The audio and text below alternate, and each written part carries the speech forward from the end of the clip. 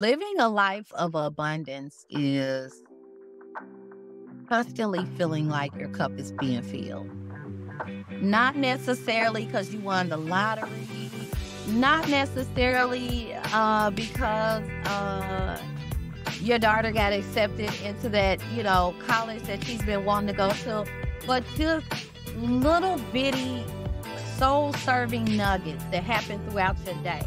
Katina Washington, founder and CEO of She, ventured into entrepreneurship in 2015 after taking the courageous step to leave her job to pursue her dream. She created and founded the She Event Indy, a non for profit organization focused on providing opportunities, tools, and resources to help connect, grow, and scale over 500 Black owned businesses to help create legacies throughout the community. Katina is a visionary leader that opened and operated the first Black department store in Circle Centre Mall in Indianapolis, the She Experience Shops. She is the host of the Katina Washington Show and author of the newly released memoir, Becoming Whole Journey to Authenticity. Katina Washington's success and mission has been built on the African Ubuntu philosophy I am because we are. Welcome back to the Finally Be podcast. Oh my goodness, I have such a dynamic person on the podcast today.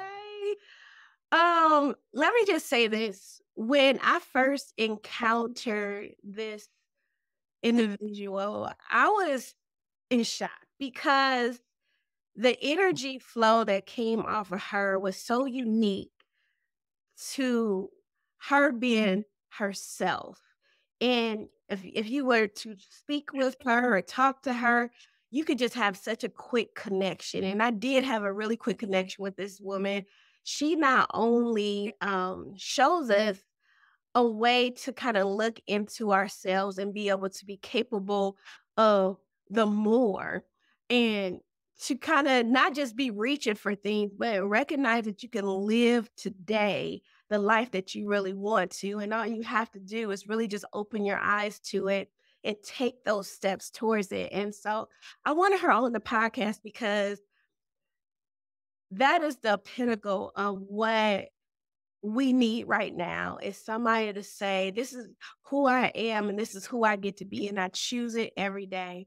So I just want you guys to know that I just want you to get to know her. You know, like I want to get to know her even more. This is Miss Katina Washington.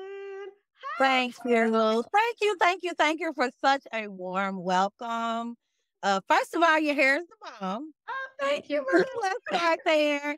Yeah, I love, love, love your hair. It's always really pretty and always well groomed and it looks healthy all the time. So that's really refreshing to see. Thank you. Thank you for um being interested in me. you know what I'm saying?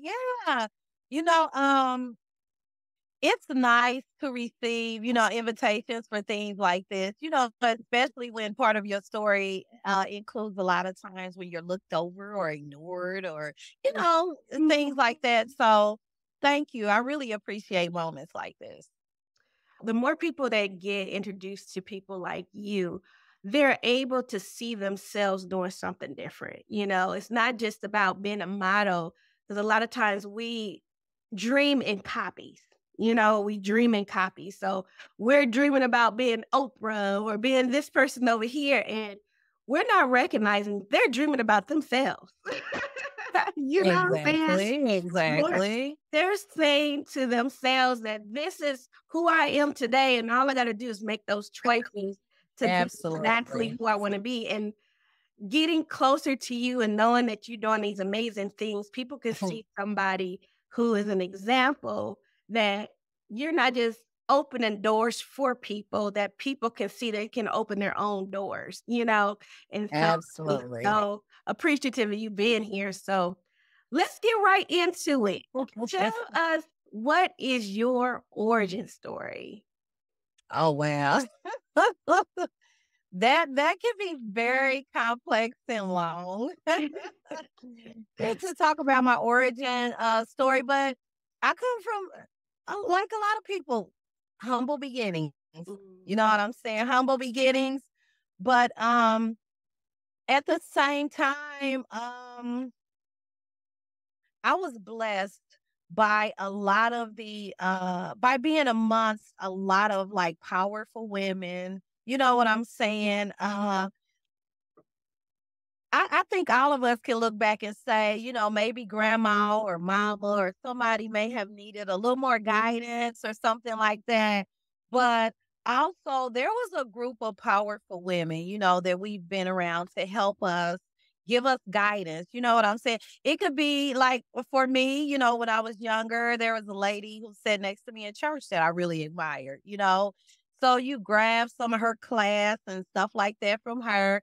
Then you got this other person over here, you know, like the bootleg cab when I was growing up. So they were, you know, I love the entrepreneur spirit in them. You know, they just didn't have the technology, right? To be an Uber or Lyft, right? And and just grabbing things from different people I saw. And I don't even know if they really even saw the power in themselves or how they were influencing me, you know, at a really young age. But I have to say, yeah, I had a lot of trials and tribulations, humble beginnings, but I I was born into a family of uh really strong women. What does it mean to be a strong woman? Um, um, um, and and this may be looked at as um maybe not a positive thing, but being a strong woman woman to me means uh carrying a lot of weight. It means a lot of layers. It means um um a lot of taboo. It means uh putting a picture over the hole in the wall. It means never really addressing things, just continuing on in life. Or, you know, some people may look at it as a situation where you're on the treadmill and you really ain't going nowhere. You just feel like you are. You know what I'm saying? Um, but that's what a strong woman means to me. Um, a strong woman means a heavy woman to me. I'm sorry. I want to make sure. I'm sorry someone's going back here, but yeah, I, that's what that means to me. It sounds like you're saying that it means to carry the weight of others to make sure that you are setting yourself up for a life that you actually want to live, even if you don't ever get there. And you just yeah. pushing. So how did you keep what did you have to push through in your life? And some of the things I had to push through in my life, I just realized uh, here recently is like my capacity, you know. Uh, some of the things I I pushed through in life are, are uh, uh, domestic violence, mm-hmm. um, um, at a young age, at a very young age, at the age of 16. So we think that, the, well, not we think, but some people think domestic violence is like an adult thing. Mm. Uh, and there are youth that are going through that. You know, some um, youth learn that behavior at a young age and, um, and act it out, you know, act out on that. And um, I don't think we really realize uh, how much it happens. Mm-hmm you know, uh, in our communities. It definitely happened to me at the age of 16. And actually, I, um, yeah, I endured uh, some things from the domestic violence that I will have to deal with for the rest of my life. You know, damage to myself, yeah, that I have to deal with. And I'm not talking about just the mental part of it. Like, yeah, there's things about my physical that happened to me that will permanently be a scar for me, you know, for the rest of my life. So I mean, it's not like, you know, it's uh, a situation where, you know, it's a small cut or something, you know, that just goes away after time or something like that. Yeah, I have physical damage that I will have to look in the mirror and see for the rest of my life, you know. So that's one of the things that I push through. Um and um I'm just I'm I'm 51 years old. I'll be 52 in June of this year. And just now getting to a point where I can really talk about it without it being so painful, you know, and where I don't feel like I have to continue to carry this load. So now I'm at a time in my life where it's like that heavy woman is kind of rising because she's pulling back these layers and and she's being lifted. You know what I mean? I always talk about in the energy work, I always talk about layers in our being. There's mm-hmm. layers that you that's being revealed every day. Like you're always and has always been the person that you wanted to be and that you were meant to be. But to peel back those layers takes work. It takes you being more and more aware of yourself and what you're capable of and what what your capacity is. And Absolutely. For me, I just wanted to know dealing with all of those things that you struggled through and all those things that you pushed through. How did you get to that place where you could see yourself differently and begin to take those steps forward? Absolutely. Um, uh, uh, one time uh, that I can actually say that I really saw myself differently was during my sabbatical. I took a month sabbatical in November of this year, and um, I would suggest that to anyone that has the opportunity to do so. But I took a sabbatical, and during that sabbatical, I really saw who I was. You know, um, spending a, a month alone, no phone, no social media. Yeah, you get to about the second week, I was talking to myself, right? And I got to know who I was and um my purpose. You know what I'm saying? And just taking time to just enjoy peace. And what I mean by t- peace is not just complete quietness, but what I mean by peace is not feeling stressed to like get up, go to work, take the kids on a field trip, do this, do that, do the other. You know what I'm saying? Just taking time out for yourself to learn who you are authentically, mm. you know? And that's um that is what inspired me to write the book that I just wrote, uh living about living authentically. Um, because it wasn't until that time in November that I really took time to travel back into my childhood and my origin wow. and really learn who I was. You know, why do you do this? Why do you keep trying to use flour over and over again? Okay, that's because mama did it. That's one of the layers of stress that I have. Cause I'm like, okay, well, I don't have to keep using a flour over and over again. You know, if I've been blessed and put in a position where I can purchase another $2 bag of flour, then I don't have to stress about trying to save it forever and ever and ever. You know what I'm saying? And then we got to, when I say capacity, that's understanding that circumstances can change because, you know, circumstances impact people's uh, decisions. Mm-hmm. So when we learn that about ourselves and, you know, um, and it becomes our guide to making decisions, um, it it all runs together, right? It all runs together and it just makes so much sense, you know, after you really think about it and analyze everything and you're like, okay, yeah, sometimes um things or or people are good at what used to work. It doesn't necessarily mean it works now. You know what I'm saying? So, you know, you have to adjust and change and then tap into yourself to see, you know, is that what I want?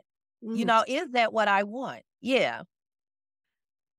That understanding of getting to that place of asking yourself that question, that goes into that place of being honest about what it is mm-hmm. who when we always talk about being our authentic self, we always talk about who I am, right? But we don't actually embrace that all of this is a part of our experience. All of this is who you are. It's just yeah. you decided and choosing what you get to look like today and what you get to look like tomorrow.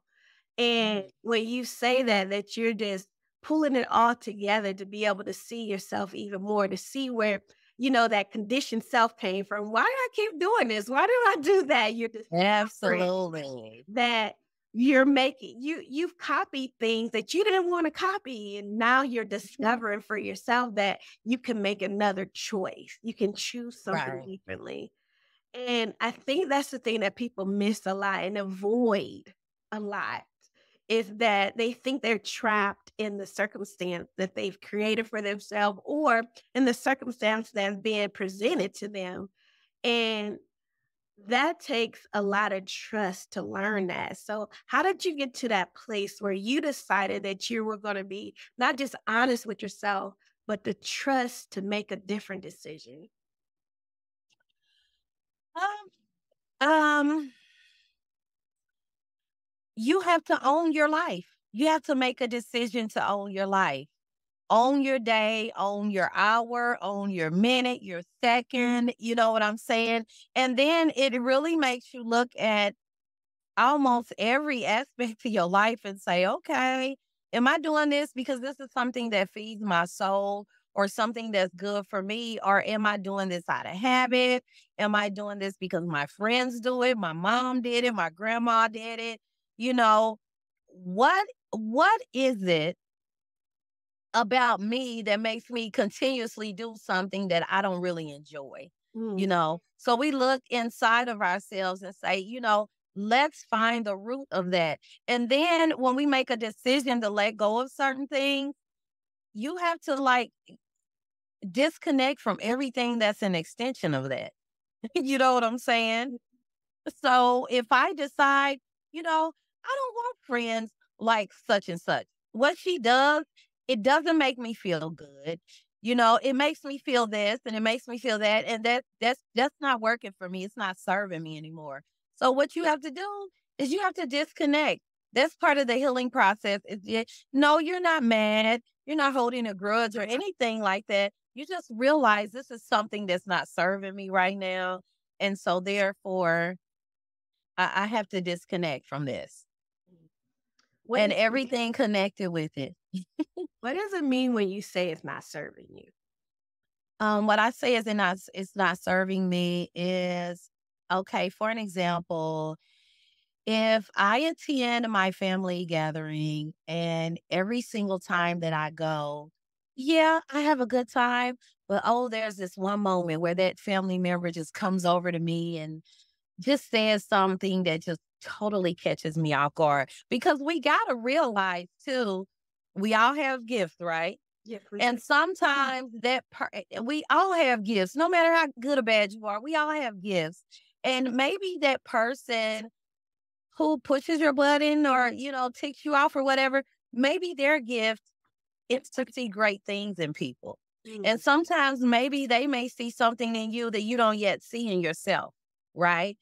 And um um, what I mean by not serving me is because I don't have to subject myself to going into places where I'm I'm I'm tolerated instead of celebrated. And so no, this isn't serving me anymore. So I'm sorry. I love you, but I cannot attend your function anymore because I go with my cup full. And by the time I leave after talking to you, it's halfway full and I still got the rest of the day to go, right? so yeah, making those detrimental, you know, uh, decisions for yourself. So in all of that, you you're being honest with yourself. You're uh, revealing more and more about you. You're seeing your capacity for more. How do you get to that place where you're living life of purpose? Yeah, um, living a life of purpose is being your authentic self. Mm being your authentic self. Sometimes we feel like, oh, we have to have 10, 11, 12 best friends and things like that. What if you spent more time and focus more on those two or three friends you have?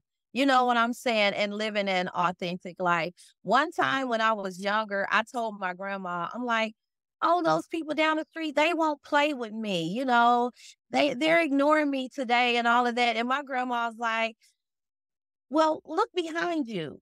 And I look behind me, and there's my two friends who are there all the time to play with me. So I'm wasting so much time, right? Trying to make someone else be friends with me when I could just spend time with the two I got right now and build from that. You know what I'm saying?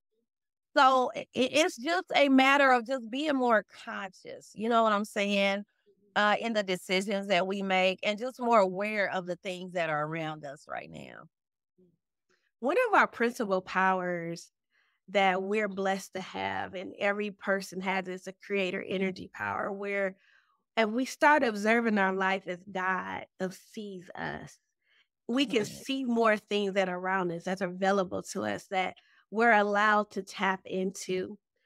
I, I love the fact that you're in this place in your life, and it sounds like this has been your journey for quite some time of recognizing more and more of yourself, more of the things that that you love, and more of the things you want more of. Um, absolutely, absolutely. You're living this life of more abundance, right? What does that mean for you to live a life of abundance? Living a life of abundance is constantly feeling like your cup is being filled. Not necessarily because you won the lottery, not necessarily uh, because uh, your daughter got accepted into that, you know, college that she's been wanting to go to, but just little bitty soul serving nuggets that happen throughout your day. You know what I'm saying? Yeah. Just um going back to your car and it's safe. You know what I'm saying? yeah. Uh going to bed at night and your body didn't flip off. You know what I'm saying? and ruin your pillow. Yeah, mm-hmm. just taking note of those precious moments like that. You know what I'm saying? To me, that's the life of abundance. Mm, that you know, beautiful gratitude. Thinking about every yeah. little moment. Every little moment. Oh, I love what you're saying. I would love to have you back on here. But first of all, we need to know how to stay in contact with you. what is coming up for you? I know you didn't drop something special. You mentioned this. So, you know, tell us a little bit about that, baby. so I um I have my book signing coming up on um January the 27th, which will be held there at the She Experience. Yeah, um, at uh, eight thirty eight North Delaware. Okay. And um, my book is is is the big thing for me right now. I'm really really excited about my book. Uh, I've tried to write this book several times, and it's just now happening. So when I say this is my number one focus right now, it is my fo- my focus right now is my mental health in my book. Mm-hmm. And um and just getting it into the hands of as many women as I can get it into the hands uh, of and and just hope that even one chapter is life changing. Someone made a post on Facebook today and said, uh, "I'm reading your book and it makes me feel like I need to be in a private space," and and that makes me feel so good because to know that your book uh, makes you know just knowing that my book makes uh people want to feel like I need to this is like a special moment. For mm. someone to say I need to be in a private space, mm-hmm. that makes me feel like it's a special moment. A mm-hmm. moment that that they want to capture, you know, something that's not so transactional, like, oh, another book, let me just read it. No, it's like creating a whole experience around reading the book. That I love. I love that too. That just goes right back to how really you life. That is beautiful. Uh-huh. That ref- that self reflection, the experience of being just having that person sit in the space to open up. I know that is. Oh, I love that. I love that. Yes, I love that. So, um, that's my focus right now. Um, and also to um main focus. I, I was at uh, Carriage House um, East today, and they have a library there. Okay. And I asked, how do I get my book in here? Because um, when I spoke about the domestic violence situation uh, earlier, uh, that's one of my reasons for moving in Carriage House was I just I just wanted to get away from that. I wanted to get away from the mental abuse and things like that. So that that's how I made my move and if I can touch the life of one teenager there, you know, one young adult there, or even older adult that's still dealing with those layers that they have to peel back, hey, that's good enough for me. So I would love you kind of wrapped up on so many things, just telling us that you have this beautiful book, which is it's called becoming fearless, right? Becoming whole. Becoming, Becoming whole. whole. Okay. Yeah, and it is journey, journey to authenticity. is- is what it's Okay. whole journey to authenticity. I love that title because that is all about my brand, girl.